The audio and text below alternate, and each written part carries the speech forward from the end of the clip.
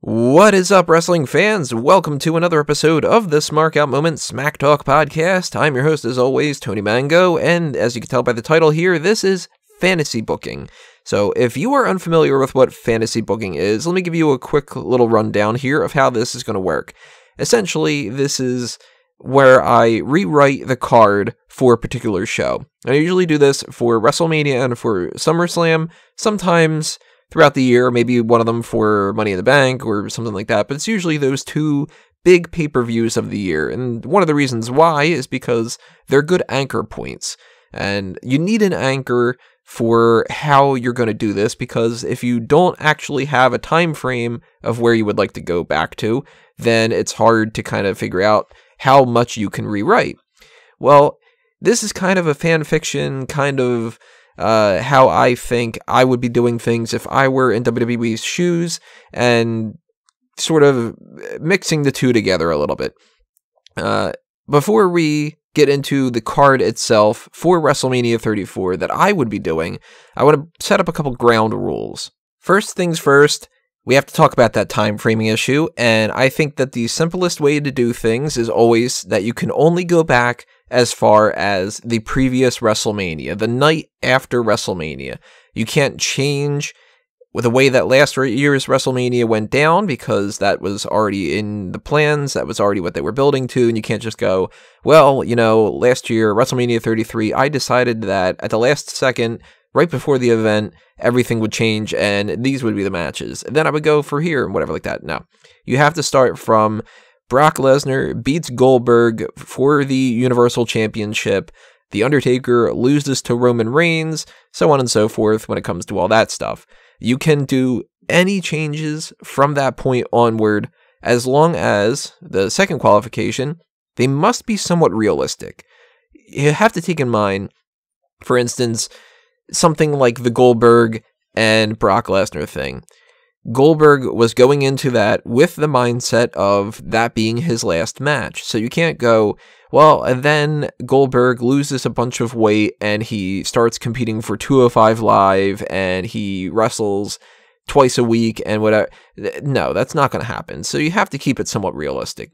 Kind of uh, justified as well when it comes to what WWE would want to do because if this is something that you are in control of but you're not the only person that is in control here because WWE isn't a one person deal. Vince McMahon has the cr- uh, creative control to be able to shoot down ideas but he still has other people on the creative team and he still has other people saying I don't know if that's a good idea and such. So keep that in mind as well uh, you also have to keep in mind when it comes to the realistic kind of things, you can't bring back dead wrestlers, or you know, like for instance, something like uh, a retired person who can't wrestle anymore, like Edge. He can't wrestle anymore. So you can't just magically wish him well and assume that he would be able to wrestle now because it's been a couple of years. It's not going to happen. Uh, nor can you bring back Andre the Giant and have him win the Andre the Giant Memorial Battle Royal. It literally is not going to happen.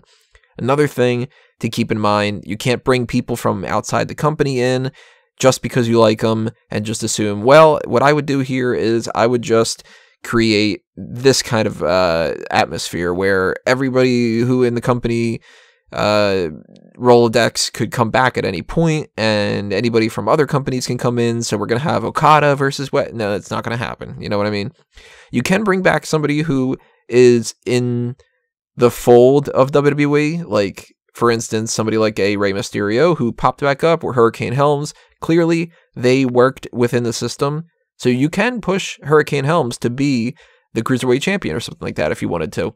It's all relative, and you got to use your best judgment. Same thing when it comes to the NXT call ups. WWE never brings up like 50 people. so, you know, bring up five people, bring up 10 people maybe, but don't bring up the entire NXT roster and do something crazy. You cannot get rid of the brand split. That is something that they are tinkering around with a little bit right now, but they still do have the brand split, so you can't just merge them together. And you also have to take into account time, because WrestleMania is a two hour pre show and a four hour normal show. There's a possibility that maybe they have a five hour normal show this year that's been a little bit of like a rumbling. I don't think that's necessarily going to be the case. So I'm working with that. If you really, really, really think that you can add another hour to it and make it a seven hour show, you have to justify it. And you can't just say every match gets 40 minutes or something like that. So you also can't say you've got 26 matches on the card and they all have 20 minutes because that doesn't end up working out. You know what I mean? So you have to keep those ground rules in mind. That's what I forced myself to do. And I also went a little bit of an extra step to a certain extent where I tried to keep some feuds the way that they were and just tinker around a little bit with some other kind of things, just tweak some things here and there. Normally, at the beginning of this, I would start off by saying I also would change the commentary teams and different things like that. But to be perfectly honest, right now, with the crop of people that we have, I don't know what I would do. I don't think Corey Graves is good to be somebody on Raw and on SmackDown. So I would replace him on Raw, but I don't know who could be that other person. Jonathan Coachman and Michael Cole and blank. And then the same thing goes with Nigel McGuinness on 205 Live. I don't think Nigel's really all that great, so I would replace him. Vic Joseph is fine, just keep him. But I don't know who I would replace him with. And that kind of causes a little bit of an issue. And I sort of looked into that a little bit and kind of figured, you know what? I don't know this year. So you're missing out on that kind of a thing at the very least.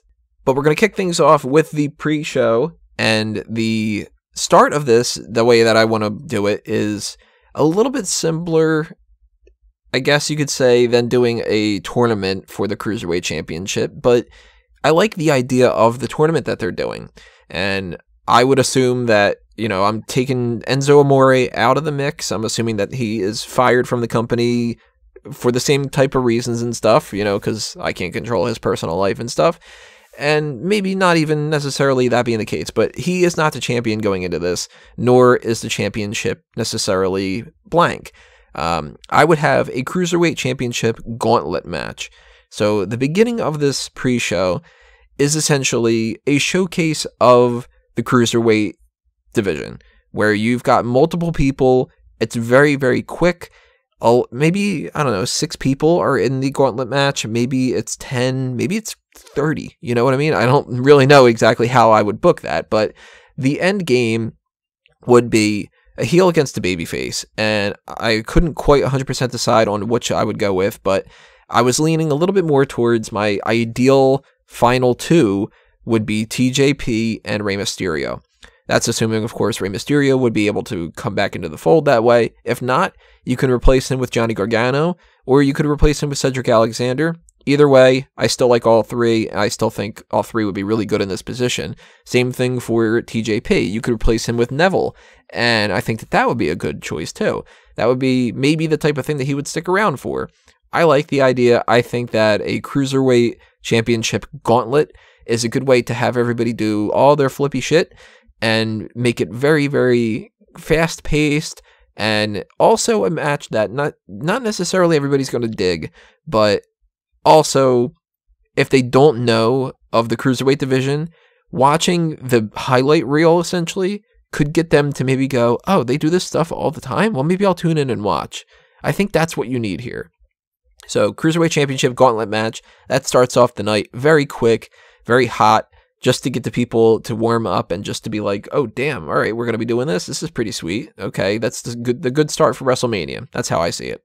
This is followed by the United States Championship match. Bobby Roode goes into this as the champion and as a heel against Randy Orton. I know that we just saw this, but remember, keep in mind, this is me rewriting WrestleMania and the road to WrestleMania 34, where we would not have actually gotten this ahead of time. This would have been a feud that they would have teased here and there, and Bobby Roode wouldn't have turned babyface to begin with. I don't think that he works as a babyface all that well, but Randy Orton would have stayed a babyface, and this would have kept that story of that whole Grand Slam champion idea, but there is no Jinder Mahal in the mix. If you recall, Jinder Mahal was a part of the United States Championship, I think, uh, scenario that I had had last year for SummerSlam or so. And I kind of picked up some of those storylines and reworked some of them too over time. But Uh, Mahal was somebody who I never thought should have been a WWE champion. I think he should have been a United States champion. So more than likely, what I would have done is Mahal would have won the United States Championship somewhere in 2017, lost it to somebody who would have lost it to Bobby Roode, and then now in this scenario, Bobby Roode ends up cheating to retain the title against Randy Orton, and it's on the pre-show. I know that that sucks for the United States Championship to be on the pre-show, but I just couldn't fit anything else on the pre-show, and I didn't want to bump anything else either. And I think that him retaining the title works well for the pre-show. Uh, Randy Orton would win the title at the next event, which would probably be Payback or Backlash, depending on you know pay-per-view schedules and stuff. And later on in the year, Bobby Roode would win the co-branded Money in the Bank and win his first world title in WWE. But he's a heel throughout this whole thing, and he cheats to win and retain the title at WrestleMania. The final part of the pre show for me would be the fifth annual Andre the Giant Memorial Battle Royal, and you'll see this throughout the card. I am not including a Fabulous Moolah Battle Royal because I do not think that that is necessary. Uh, I would put a lot of focus more on this Andre the Giant Memorial Battle Royal in a way that people would actually be looking forward to it. I think you need to have some pretty big names in here for it to be something that people give a shit about. So let's assume Dean Ambrose isn't injured. He's in there. Sami Zayn is in there. Baron Corbin, Bray Wyatt, Dolph Ziggler, Matt Hardy, Jinder Mahal. If later on there's a situation where I have a, a Shinsuke Nakamura match, if Shinsuke Nakamura is not in that match, Shinsuke Nakamura not only is in this, but he actually wins the Andre the Giant Memorial Battle Royal. If Nakamura is not in the match, then the match ends up going to Drew McIntyre. And this is really where, I mean, you can just add all the names that you want when it comes to this. Anybody who isn't on the card, they get in the Andre the Giant Memorial Battle Royal. So you've got tag teams like Titus Worldwide, and you've got the Miztourage, and uh, you've got kind of all the the lower card guys like uh let's say Kurt Hawkins and Mike Kanellis and Mojo Rawley and even the people like Tye Dillinger that I like, but I couldn't figure out a better place for him. And Kane is in this if he's able to compete. Goldust is in this. Breezango, you know, just anybody who is in the mix when it comes to that stuff. And some NXT people as well. No Way Jose gets brought in. Drew McIntyre, as I said, he ends up winning if it's not Shinsuke Nakamura but you really just kind of pick anybody that you want to to get a spot on the card that doesn't have a card spot yet, and that's how you you kind of work everybody into there. And it sucks that it's on the pre-show again, but it's something that kind of needs to be on the pre-show a little bit more than some of the other ones. You just happen to have to give it more attention. It doesn't take that much to build this up, too. That's the thing. Just have some noteworthy person go, I want to win the Andre the Giant Memorial Battle Royal. And then other people go, no, you're not worthy enough to win that. I will win it, whatever. And then people might give a shit, you know what I mean? Maybe even put a stipulation on this where the winner of the Andre the Giant Memorial Battle Royal gets some kind of a title shot or something like that. I think that works. And I think that Shinsuke Nakamura or Drew McIntyre are both very good choices for that. Nakamura in the sense that he can build that towards a title shot. Drew McIntyre in the sense that he might be able to use that to springboard his momentum onto the main roster. Because I'm also assuming Drew McIntyre didn't get injured, and, you know, like you can kind of play around with it when it comes to that stuff. If somebody's been injured before WrestleMania last year, you can't bring them back, but, you know, maybe some of these other injuries don't necessarily happen. By this point, the pre show is done. We have gone through all of our pre show panel analysis stuff. We've had our video packages that we're not going to see the whole rest of the night because fuck that. We don't need to waste time and everything else is just on the show itself. And I, I sort of broke it up on the website as like hour one, hour two. Of course, it's going to bleed into it here and there. You're not going to have like, all right, it's uh 7:59, and that means we're starting hour two, and you know, like that kind of thing. It's going to have some overlap and stuff, so keep that in mind. But match by match, we're going to go through here. We're going to start the show off with just a classic normal match because we have already at this point had a battle royal and a gauntlet and a normal match too, but you know, that's one normal match out of three. So we're going to start off with The Miz defending the Intercontinental Championship against Seth Rollins. Right now, we're going to be getting that at WrestleMania, but with Finn Balor in the mix. I don't include Finn Balor for a different reason. He's coming up a little bit later on. Instead, this is just Seth Rollins beating The Miz. He wins the Intercontinental Championship. Rollins, I think, is like the perfect type of guy that can boost that Intercontinental title right now, and he won't necessarily be the focal point on Monday Night Raw. So it makes sense for him to be in that upper mid card kind of scene. The Miz is another guy. I freaking love The Miz. Uh, I hate the idea that he would have to lose a match here because I'd love to give him a big, big win. But he is the type of guy that he is better when he's losing, kind of. And he would have had that whole long Intercontinental title reign, and he'd get more, too, down the line. The Miz would be the type of guy that I think he needs to beat Jericho's record. And I would even possibly maybe go with the idea of him beating the Honky Tonk Man's. Maybe. I don't know. It's something to think about. But for now, Seth Rollins beats The Miz. We start off WrestleMania with the title change and a babyface winning, and everybody's happy. It's a standard match, and we don't have to worry too much about that kind of stuff. We pick up after there with the Raw Women's Championship triple threat match. That is a scenario that I thought that we were going to be getting, but we actually are not, where Alexa Bliss has been using Nia Jax to manipulate and make her protect her from Asuka, who wins the women's battle, uh, women's Royal Rumble, and she gets her title shot, and she picks Alexa Bliss because she thinks that Alexa Bliss is not deserving of being a champion. Meanwhile, Charlotte Flair is the champion over on SmackDown, and they kind of just allude to the idea of yeah, they'll collide at some point, but she, uh, uh she meaning Asuka, doesn't think that Alexa is somebody who carries herself as an actual champion and she just cheats to win and she wants to just beat her and say, fuck it, you know, I'm better. And Nia Jax, meanwhile, is that person standing in the way of that because she always comes to Alexa Bliss's aid. But Nia realizes that Alexa Bliss is just kind of using her. It's sort of similar to what we've gotten now, but instead of Asuka just going, yeah, fuck it, I'm going to wrestle Charlotte, they continue the story. And um, I don't think Asuka versus Alexa Bliss would be any kind of a real competitive match. And I also think that Nia Jax versus Alexa Bliss wouldn't be a competitive match. So that's why there's a triple threat because Nia versus Asuka, that is competitive. And Alexa, in the meantime, tries to get involved and she sort of messes things up for the other two and here and there. And um, Nia kind of wants to beat Alexa but Asuka doesn't want to let her because then her streak ends and she doesn't win the championship. Asuka wants to beat Alexa, but Nia is standing in the way. And you sort of have this kind of race between who can beat Alexa while Alexa is trying to run away from the two, but can't literally run away because this is, you know, no disqualification.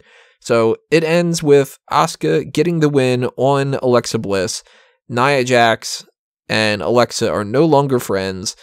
Nia Jax is officially starting to turn into a babyface, and they can kind of continue the Asuka Jax stuff or the Asuka Alexa stuff or the Alexa Nia thing, depending on where you would want to go in the future.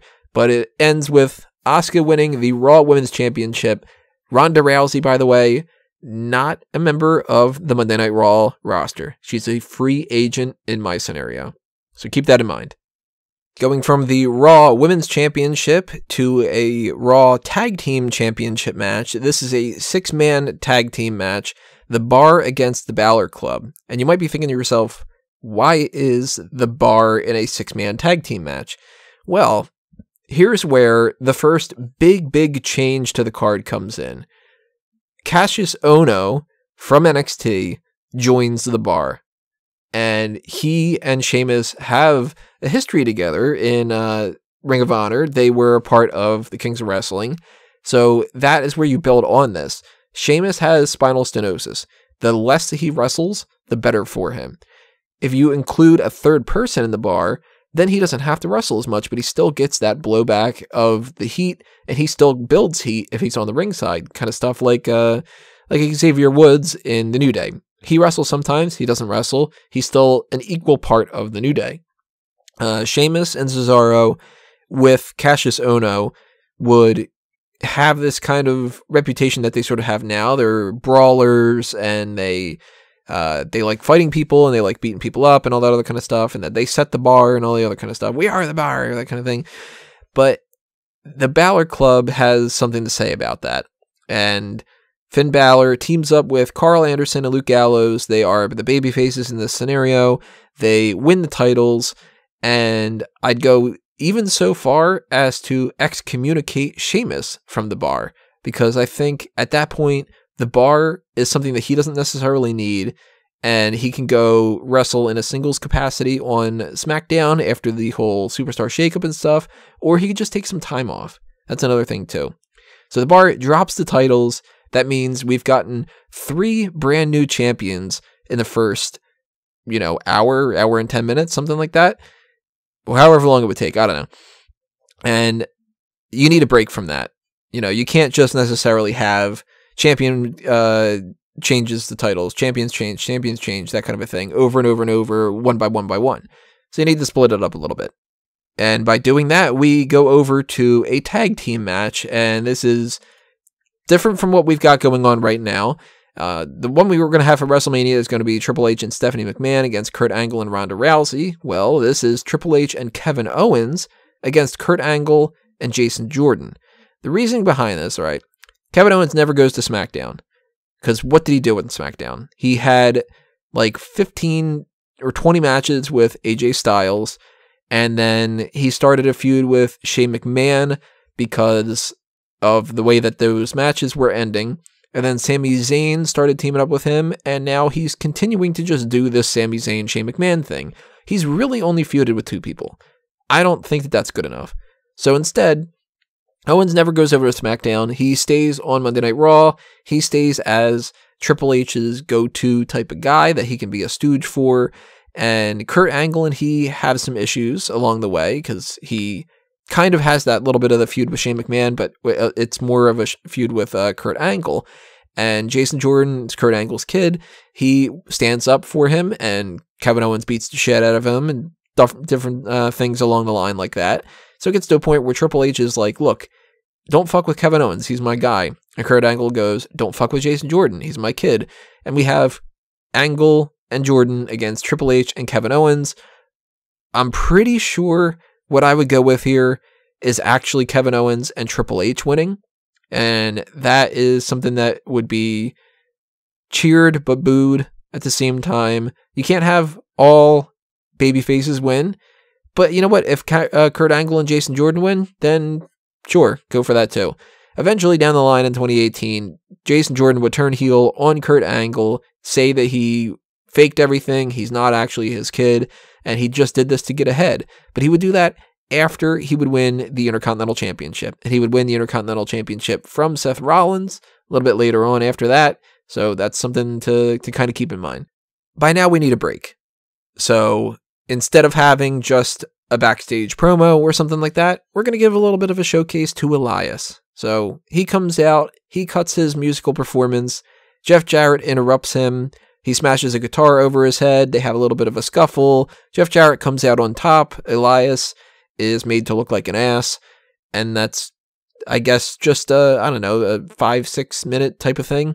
It's just a bathroom break. It's just something to get people to go, ah, okay, well, now we're into, you know, a certain section of hour two and I needed to pee and, you know, different things like that. Um, that's Elias's big moment. He wrestles earlier in the night in the Andre the Giant Memorial Battle Royal. And I like Elias, and I would like to give him a better spot, but I think that that is the best spot for him right now because I don't want him winning any of those championships yet. He's still not at that level. And if he at least gets to do the thing that makes him him, and he showcases Jeff Jarrett in the mix too, then cool. I'm hoping that that is more of a Jeff Jarrett thing than a Kid Rock thing, because I do not care about Elias and Kid Rock. Elias and Jeff Jarrett, that seems more fun to me. Now that we have our little bit of a break, we go over to the SmackDown Tag Team Championship match. It is another triple threat, and this is pretty much exactly the same as what we're getting right now. I had this card, by the way. Uh, this is a card that I wrote up about uh, what was it, three months ago or so. I, I wrote this and I barely changed anything from it. So ahead of time, I was thinking to myself, you know, it'd be really good if we had like the Udo, the Udos, the Usos, and the New Day and the Bludgeon Brothers, and they make it all about brotherhood. You know, the Usos are biological brothers. They have done the day one ish type shit. The day one ish type shit. Do I really say that? The ish shit. Uh, they are biological. They have literally been brothers from the start because they are twins, you know, that kind of a thing. And the New Day, they consider themselves brothers. They're they're spiritual brothers. They're brothers in uh, friendship, essentially. And they kind of have that sort of argument, I guess, of like it's one thing to be born into having a brother. It's another thing to choose your brother and to forge a relationship with somebody that they become a brother. It's a little bit of a, a soap opera when it comes to that.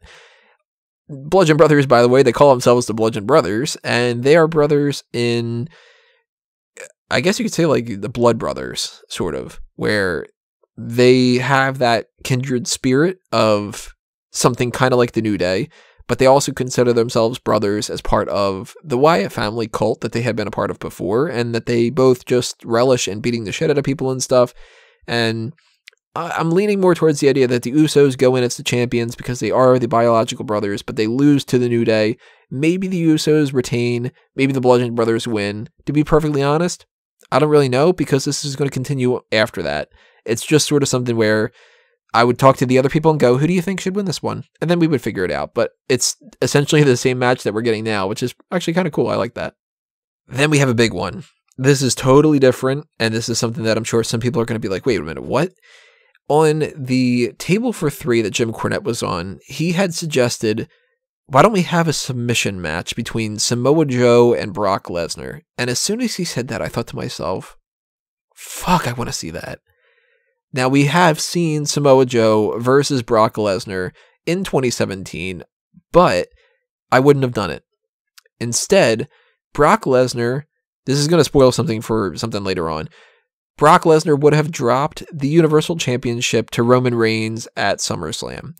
So we would not have needed Brock Lesnar versus Samoa Joe, Brock Lesnar versus Braun Strowman, Brock Lesnar versus uh, Braun Strowman and Kane, that kind of a thing. Brock probably would have fought Kane. He probably would have fought, uh, I don't know, here and there. Maybe he would have fought Finn Balor. Maybe he would have fought somebody else. I don't know. It's really just take your pick. He would have lost at SummerSlam, so he's not going into WrestleMania with the Universal Championship.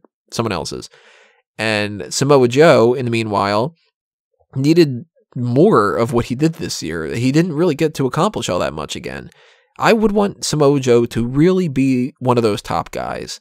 So I would have the Brock Lesnar title switch, and I'd put him a little bit more on a babyface side of things, where he wouldn't necessarily be a babyface because Brock is not a babyface, but he would be a little bit less the top heel, unbeatable type guy.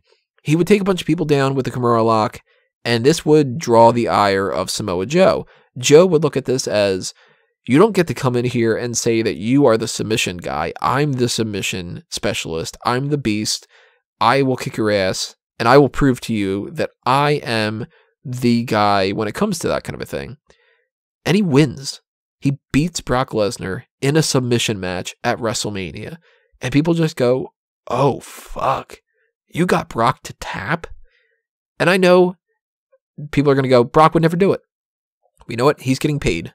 If Brock does not want to do it, you don't pay Brock. That's the end of it. That guy needs to be brought down a peg because he is a big star, but he is not some, you know, five levels above everybody else. If they lose him, they lose the whole company type of guy. No, he needs to stop acting like that. So Samoa Joe wins, and we get set up for the idea that Samoa Joe is the guy because Brock Lesnar could leave anytime that he does this kind of shit. And anytime that he does it and he wants to leave, well, you know what? We don't have to depend on him as much anymore.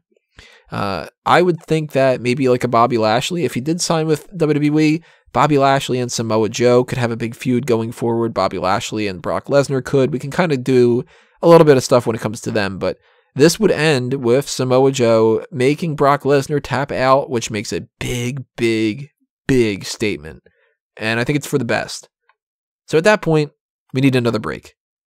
And the reason I say that is because we're going into hour three probably at this point, and there's probably some people that didn't necessarily take that previous break with the Elias thing, and they're sitting there going, oh my god, I really, really need another break right here. So this is our Hall of Fame recap. This is where we get Jeff Jarrett and Goldberg and the Dudley Boyz and anybody else that they wanted to bring into the Hall of Fame. All those people, they come out, they do their little parade, they wave to the crowd. We have a couple backstage segments, some interviews, and we just sort of keep it a little bit easy and give everybody a little bit of time to to digest what just happened with Samoa Joe just beating Brock Lesnar. Like, whoa, man, okay, that's kind of crazy.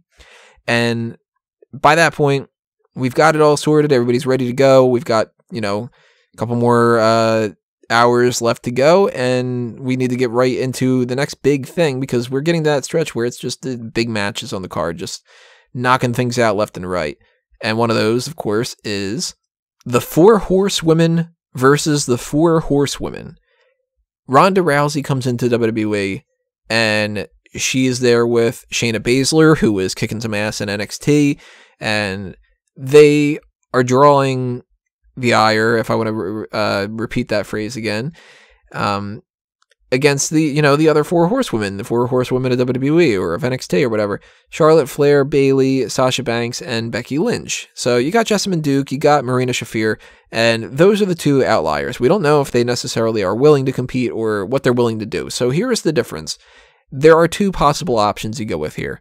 Either you go with my preference, which would be the four horsewomen against the four horsewomen, all four against all four. It's just a uh, an eight man or an eight man, yeah, it's an eight man one, an eight woman tag team match, and nothing is on the line, or it's just uh you know a, a feud, or you go with Charlotte Flair holding the SmackDown Women's Championship and defending it against Ronda Rousey with the three others on the ringside in their corner just to kind of, I guess you could sort of say, play the part of what the NWO and DX did on the Sting versus Triple H thing, where they weren't a part of the match, but they did come into it. They did make it part of what was fun about it and stuff.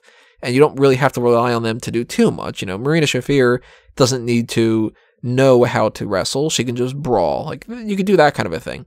Uh, in either fashion, Charlotte Flair is the SmackDown Women's Champion. Uh, she has the title, whether or not it's on the line, and I don't know if she defends the title here. If I would have her lose, I don't think I would. I think I'd have Ronda Rousey lose. I don't know.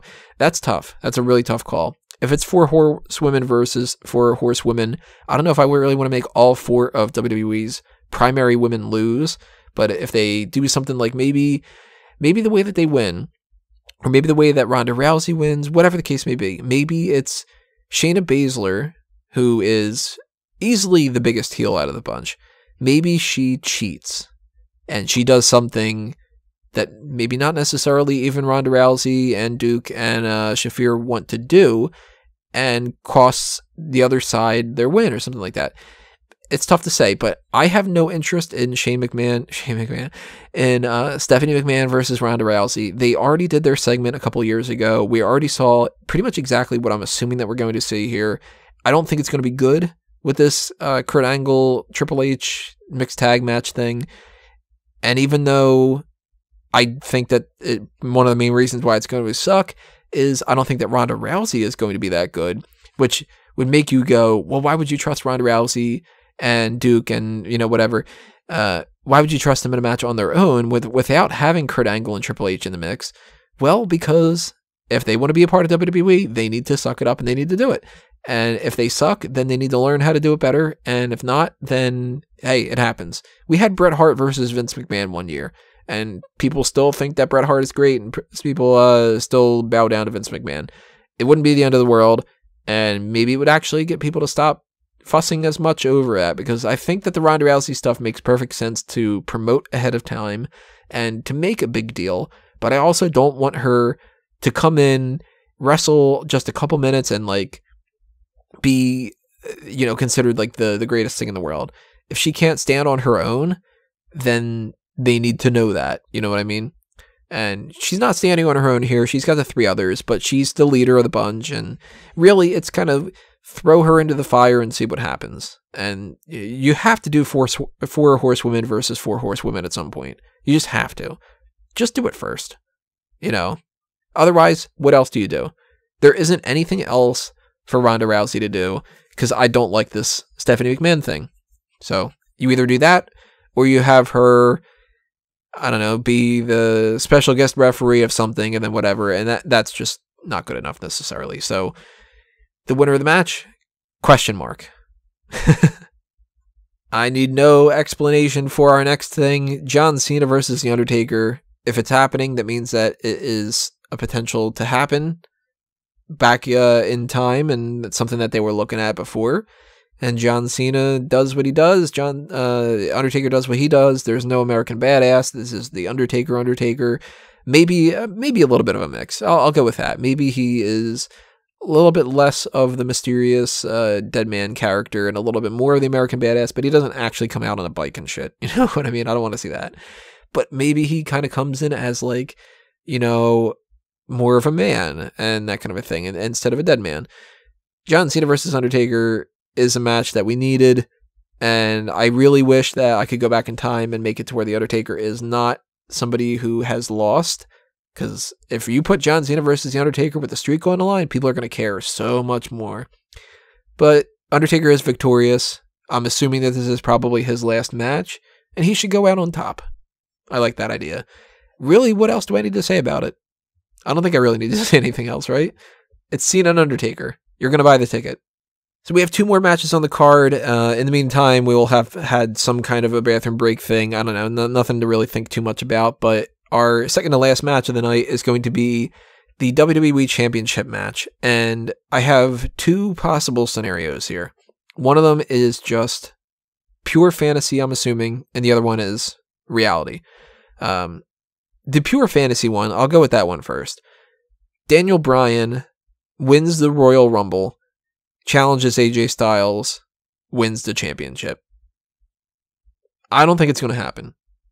I'm uh, working under the assumption that WWE is not going to clear him, and that if they were to clear him, they would have, uh, I think, a little while ago. And I think that you do the build up to WrestleMania that way. You have him win that Royal Rumble, and you you make it a big deal, and you give him those couple of months where he can kind of get a little bit back into shape and bring back the whole yes movement and all the other kind of stuff like that. I don't know if I would really necessarily have him be the babyface or make him turn heel or keep both he and Styles babyface, turn Styles heel. I think I'd lean more towards Styles and Bryan are both babyfaces here because you can do that.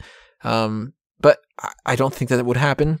So, you know, that's where I get into the mix where if Daniel Bryan is in this match, Shinsuke Nakamura is in the Battle Royal and he wins that. But let's assume that that's not necessarily the case. And I don't think that that's going to be. So instead, we get Shinsuke Nakamura versus AJ Styles. And it's the same type of deal as what we're getting right now. Shinsuke Nakamura wins the Royal Rumble. They spend the next couple of weeks or months building him up a little bit more than what we actually got. And it, it's a respect thing. Nakamura goes into it wanting to fight AJ Styles. Styles wants to fight Shinsuke Nakamura.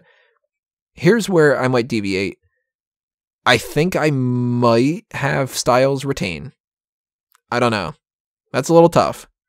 I don't think that Shinsuke Nakamura is ready right now to take on the top spot on SmackDown. But if we would have been able to build him up ahead of time better throughout 2017, which I would have tried to make a priority, then that might not necessarily be the case. So it all depends. If I was able to get to a point where post WrestleMania I felt like he was ready, I would put the title on him. If not, I would just have him come up short because it's AJ Styles. People aren't going to be super pissed if Nakamura doesn't win. Styles is more popular. So it's kind of a 50 50 deal. If you could do the Daniel Bryan thing, you do that. You push Nakamura aside. If not, then what you do is the same old Nakamura stuff that we've been getting, except you put more of an investment in Nakamura to where it pays off more. And finally, our last match, our main event of the night, is the Universal Championship. Roman Reigns going in as the champion, defending against Braun Strowman. So here's the setup. Some things are the same, some things are different. The difference that I mentioned first off was Brock Lesnar drops the Universal Championship to Roman Reigns at SummerSlam, but Roman Reigns turned heel. And I know you're thinking to yourself, the WWE would never do that. They want Roman Reigns to be the babyface. I think you just have to make that judgment call and you just say to yourself, we have to do it. The Rock got popular after he turned babyface from turning heel. He didn't start as the babyface and get that kind of a push, and it worked. It didn't. He had to turn to a villain because he started to get that whole die Rocky die stuff. And you would have thought 20 years ago, when they went through this, that they would have learned their lesson for that. The biggest people in the company over that time span were Stone Cold Steve Austin and The Rock, and they both were heels that got cheered, that they turned into baby faces. So you do the same thing. Roman Reigns is the type of guy that he should be the babyface at some point in the future, but he clearly isn't right now, and they can't ignore that. So you turn them. You just make them a heel. It's okay. The kids aren't gonna, you know, stop watching. They've got other people that they like just as much, if not more, and they'll figure it out. And you also, in the meantime, are building up Braun Strowman. Braun Strowman has had a great 2017 as far as building up momentum, but they never want to be pulling the trigger on him. And now it seems like we're getting him winning the tag team championship, which is just kind of, I don't know why they're doing that with him. We'll see. But Strowman, all throughout 2017, there would be this dynamic switch between Roman being the top guy that turns heel and Strowman reaching that top status and becoming a babyface. And anytime that they would be about to fight each other, something would happen in the way. You know, whether it's Reigns and Strowman are about to clash and Samoa Joe gets involved, or Brock Lesnar gets involved, or, you know, whatever the case may be, like that kind of a thing. Uh, Braun Strowman, by the time of the Royal Rumble, would be so feverishly ready to beat Roman Reigns, and the crowd would be so pumped to see it that Reigns would screw him out of the Royal Rumble. And people would be livid at this point because it would just be like, here you go, here's the fucking company guy. He's a heel and we can boo him and all that, but you know, like that kind of a thing. And he screws the guy that's more important and you know, that kind of a thing. But then the Elimination Chamber comes up, and Strowman goes ape shit, and he wins the Elimination Chamber, sets himself up to be the challenger for the heel Roman Reigns, and they don't have had uh, all those matches. They wouldn't have had those. So this is really like their first true confrontation, kind of.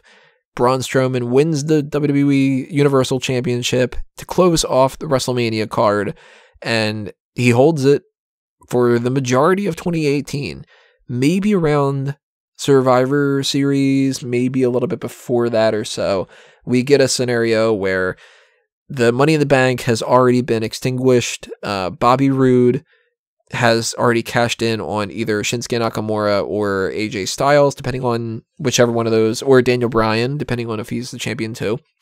Uh, and it seems like Braun Strowman can't be beaten, but Remember how we set up Samoa Joe as that top dog? Samoa Joe takes out Braun Strowman. And Samoa Joe, for people that are thinking about, if I'm not thinking ahead for WrestleMania 35, Samoa Joe goes into WrestleMania with the Universal Championship to defend and unsuccessfully uh, have this match against John Cena, who wins his 17th world title at WrestleMania 35 from Samoa Joe. It is the Universal Championship, the main championship that he hasn't won yet, other than the Intercontinental title. And that's your big uh, WrestleMania moment when it comes to next year. You've set up Roman as the heel to put up Braun Strowman, who puts over Samoa Joe, who puts over John Cena. And Strowman, in the meantime, he's had that uh, Universal title reign, and he goes into WrestleMania 35 to fight either Brock Lesnar or somebody else who's good enough to challenge him. I'm assuming Brock Lesnar, though, and beats Brock Lesnar because Brock Lesnar could lose. You know what I mean? Maybe he fights Triple H, though. Maybe it's Braun Strowman, Triple H. Maybe it's Braun Strowman versus. Uh, I don't know. That's something to think about for next year. So that is my card for WrestleMania 34. It's not 100% exactly what I would do if I could go back in time for multiple years or different things like that. It's try to be the most realistic that I could possibly get to. And I want to know what you have to think about it. So, two things. First off, leave your comments below. Tell me what you think about this card. If you think that it's better than the one that we are going to be getting at WrestleMania 34, then let me know that as well. If you had any problems with that, voice them in the comments. You know, I mean, I'm not fucking perfect, and everything's subjective. So, because everything is subjective, what would you do? For WrestleMania 34. If you could go back in time to the night after WrestleMania 33 and you can rebook everything and rewrite how the history went down, what were your matches that you would end up putting on this card? Drop those in the comment section below as well. Make sure you hit that subscribe button and ring the bell on YouTube for notifications to uh, find out the next things that we're going to be doing here, which is going to be the hot tags, of course, and then the mailbag. So send in your mailbag questions as soon as you can so we can have a little bit of time that I can, you know, sort of set up everything and look at my questions and kind of get it all situated and stuff for next week. And um, Follow us on Facebook and Twitter at SmarkOutMoment. And keep checking smarkoutmoment.com for all the other things that are coming your way from that site. Uh, Fanboys Anonymous is another thing. Check out that for the movie reviews and whatnot over on there. I think that's it. So thank you for indulging me in this, everybody. Uh, let's see what your matchmaker type stuff is and I will be chiming in on some of those too when I get a chance to. But that's it for me right now, everybody. I will talk to you next time. This has been another Smark Out moment, and I'm being counted out.